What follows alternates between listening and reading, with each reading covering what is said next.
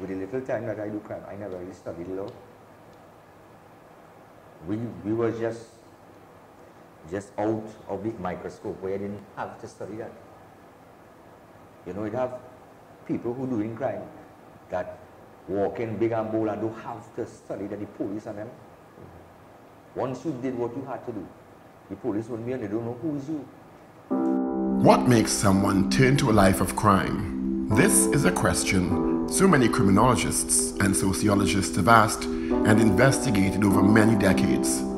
The issue is even more puzzling when the person in question comes from a stable family background with loving, caring parents. Arnold Ramlogan's background does not necessarily fit the mold of most people's impressions of someone who will end up becoming involved in crime being a principal element in a drug cartel, and eventually killing a police officer and sentenced to death in the courts of Trinidad and Tobago. This is the story of Arnold Ramlogan. From criminal to Christian.